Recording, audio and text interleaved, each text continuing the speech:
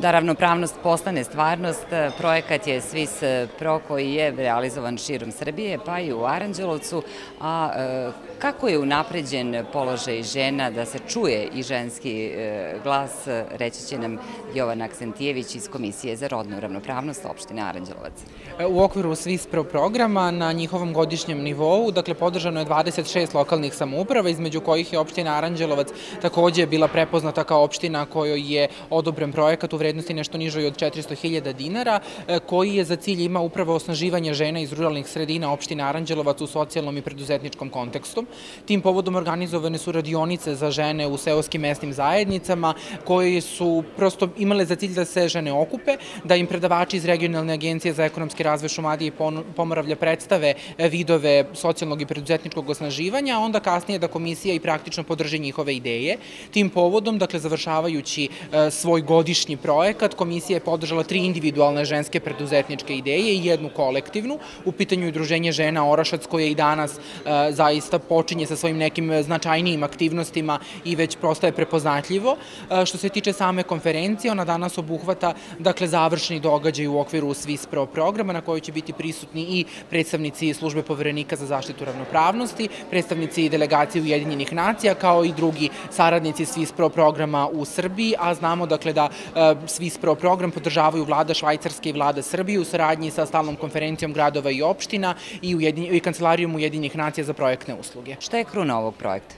Dakle, kruna je to što je Aranđelovac sada izvanično prepoznatljiv na nivou Republike i mi smo tim povodom dobili e, čitava dva nova granta e, od Kancelarije Ujedinjenih nacija za osnaživanje žena i rodnu ravnopravnost.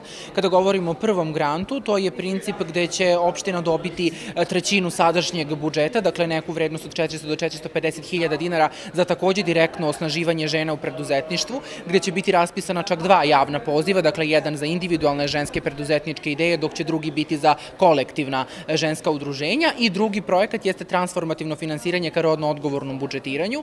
To je jedan dugogodišnji projekat koji će se sprovoditi sve do 2024. godine, odnosno do obaveze kada će sve lokalne samouprave uvesti rodno odgovorno budžetiranje u svoje programske ciljeve.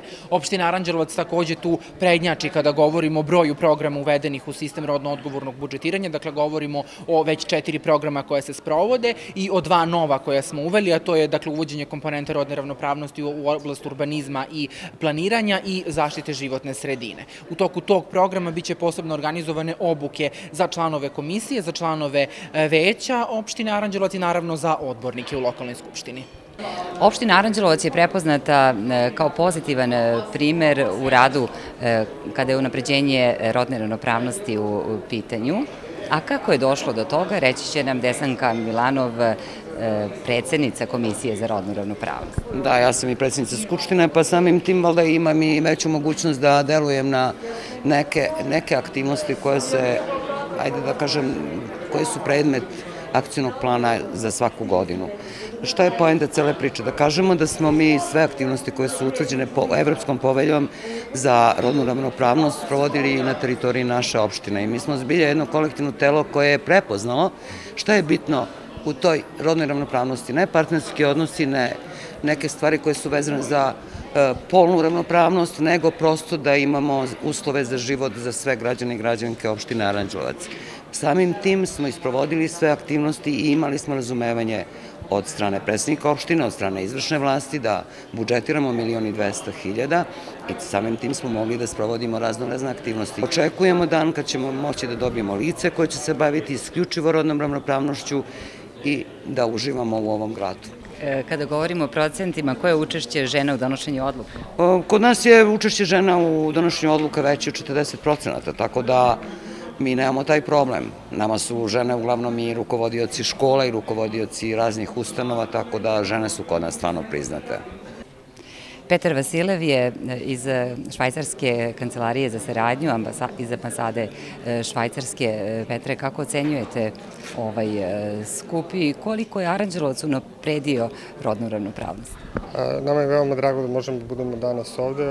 Ovaj skup je zapravo završetak projekata u 26 opština iz Srbije koji pomažu rodnu ravnopravnost. Aranđelovac je jedna od opština koja je bila veoma istoknuta u celom ovom procesu. Tu se konkretno radilo sa 34 žene iz 18 mesnih zajednica. Osnovano je žensko udruženje i pokrenuta su tri preduzetnička projekta koji imaju za cilj da osnaže ekonomski položaj žena. Šta je potrebno još uraditi? Potrebno je nastaviti unapređivanje tog znanja, zato što je to jedan korak, ali zapravo, da kažem, neprestani proces koji, koji traje, jer kako se i društvo menja, tako i žene i u tom društvu moraju da nastave da se razvijaju upored.